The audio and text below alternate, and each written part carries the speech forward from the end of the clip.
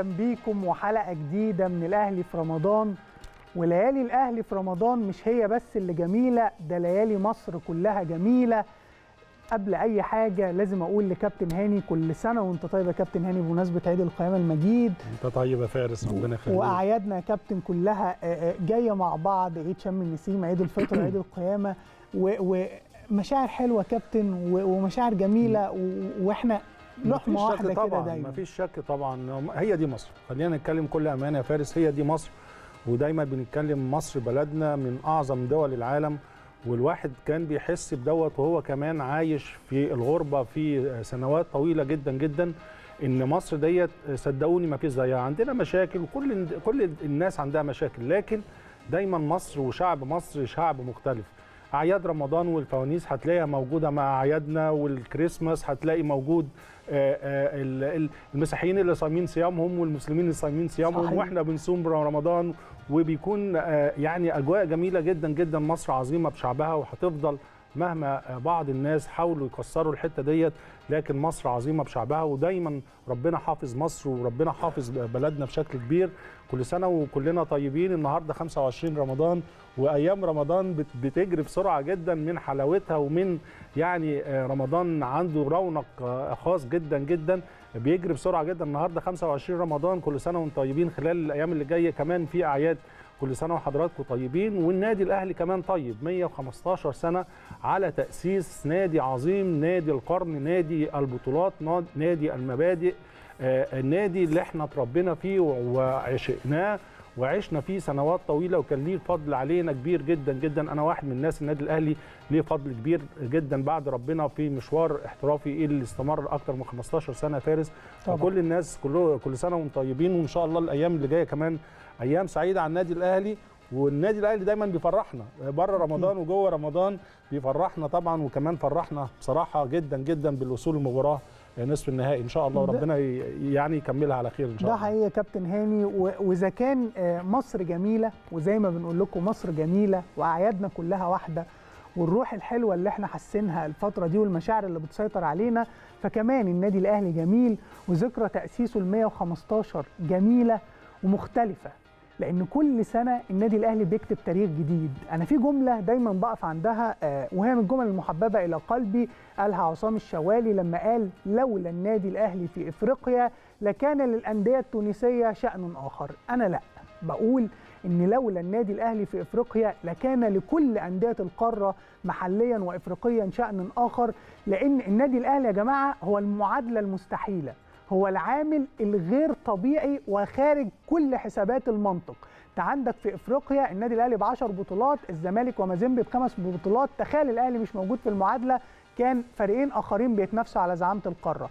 محليا أيضا هتلاقي النادي الأهلي على سبيل المثال في بطولة الدوري عنده 42 بطولة دوري. في المقابل كل فرق الدوري الأخرى مجتمع عندها 20 بطولة دوري. عشان كده كل عيد للنادي الأهلي بيكتب فيه تاريخ جديد وبيكتب فيه معادلة صعبة جديدة. أظن كابتن ده مش موجود في حتة غير في النادي الأهلي. آه، أعتقد من النادي الأهلي وخلاص بيضاهي الأندية العالمية. إحنا دايما بنتكلم والنادي الأهلي خلي بالك اللي بتتكلم عليه ده نتاج آه، لمجهودات كبيرة جدا جدا. بنتكلم على 115 سنة وزي ما بتكلم دايما.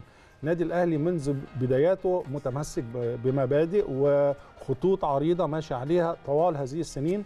على مستوى الإدارات الفنية على مستوى مجالس الإدارة النادي الأهلي الأشخاص تتغير وكيان النادي الأهلي لن يتغير وما بيتغيرش. فده سر نجاح النادي الأهلي وأعتقد مشوار 115 سنة عد بطولات كبيرة جدا جدا على مستوى القاري على المستوى المحلي.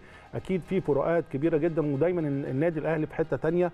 ودايما زي ما بقول لك خلاص إحنا عندنا الأساس. اتبنى الأساس من سنوات طويلة جدا. ده حقيقي. وكل ما يأتي من لعيبة مديرين فنيين أجهزة مجالس إدارات أعتقد خلاص يبقى الترس شغال بنفس المنهج ونفس المبادئ. وهو ده سر النادي الأهلي اللي زي ما أنت بتقول يعني النادي الأهلي على مستوى القارة الافريقيه دلوقتي آه، ال- النادي المرعب على جميع المستويات. مفيش شك الأرقام اللي بيحققها النادي الأهلي خلال البطولة الأفريقية أرقام كبيرة جدا جدا. ده حقيقي. وإحنا كمان في صدد النهارده كمان هنتكلم على آه، يعني وصول النادي الأهلي حلم اللي- جديد. وحلم جديد وطبعا ترشيح النادي الأهلي والمرشح الأقوى في البطولة. آه، أعتقد كمان إنجاز هيبقى يعني إنجاز كبير لأول جدا مرة في تاريخ أي نادي في اول. مرة في تاريخ الكرة الأفريقية الحصول على البطولة الأفريقية ثلاث مرات على التوالي آه، معادلة إن شاء الله بإذن الله أولادنا آه، قادرين نحققها بإذن الله يعني. ده حقيقة كابتن هاني. وأنا عايز آخد من كلام حضرتك فيما يخص إن النادي الأهلي عنده شكله وعنده دولاب عمله الإداري وعنده الكتالوج بتاعه اللي هي مبادئه يعني لما تيجي تتكلم عن أي أندية في العالم وكل ناس لها أندية بتحبها أيضا وبتتابعها في الكرة العالمية هتيجي تلاقي نفسك أغلب الوقت بتتكلم في كرة القدم فقط. إنما زي ما قال كابتن هاني إن أنت عندك مرجعية عندك مبادئ عندك يعني كتالوجك الداخلي وعندك الأمور اللي بترجع لها. إحنا لسه بنحكي نقول كابتن صالح سليم حصل كذا كابتن حسن حمدي مع كابتن صالح في أزمة 85 حصل كذا. هو ده اللي موجود عندك واللي مش موجود في أي حتة تانية. وصدقوني ده الأساس قبل أي حاجة. وده اللي بيخلينا نتحط في الحتة اللي أيضا كابتن هاني بيقول عليها وإن أنت عندك حلم مختلف. فكرة إن أنت النادي الأهلي يا جماعة بيعمل حاجة أنا بقول إن هو مخلي الناس تحس إن هي سهلة. إن أنت تيجي في طريقك للبطولة الثالثه على التوالي وعندك 10 ألقاب البعض اللي خارج المشهد يقول لك القصة سهلة. لا القصة صعبة. انت شايفها سهلة عشان انت بره. انما النادي الأهلي اللي مديك إيحاء إن هي سهلة. ليه مديك إيحاء إن هي سهلة؟ لأن شفنا أندية كابتن هاني زي الترجي شفنا فريق زي سان داونز كان بيتقال إنه المرشح الأول للقب. شفناه بيخرج. النادي الأهلي الوضع مختلف شوية رغم إن أنت مفترض يعني تكون أقل شغفا بالبطولة لأنك محقق بطولتين. ده حقيقي ده لكن مختلف. انت ده مختلف تماما وعايز أقول جملة يمكن اتقالت لي إحنا كنا بنتفرج على مباراة السيتي وريال مدريد بره وطبعا واحد بي- بيحب ريال مدريد قال لي بس أنا مش عايز ريال مدريد يكسب قلت له أنت بتحب ريال مدريد قال لي لا ما هو لو كسب آه، هياخد دورة بطولة. قارية وبالتالي في منافسة بيننا وبين ريال مدريد حقيقي. آه، ده دي روح يعني روح النادي الأهلي. خلاص إحنا بنقارن نفسنا دلوقتي على مستوى البطولات بأندية عالمية زي ريال مدريد على مستوى الب- البطولات القارية.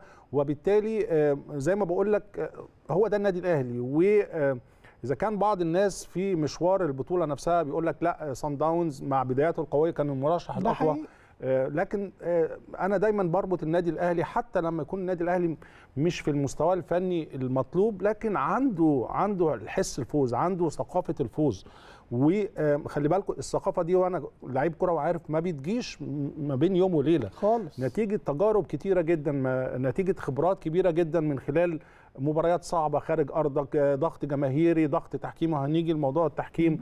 كل دوت آه، خبرات اكتسبها آه، لعيبة النادي الأهلي على مر السنين وحتى على المستوى الفني على المستوى الإداري وبالتالي بتلاقي النادي الأهلي حتى لو مش أحسن حالاته آه، بيوصل للمباراة النهائية وبيكون مرشح بقوة لإن شاء الله لهذه البطولة الكبيرة يعني. ده حقيقي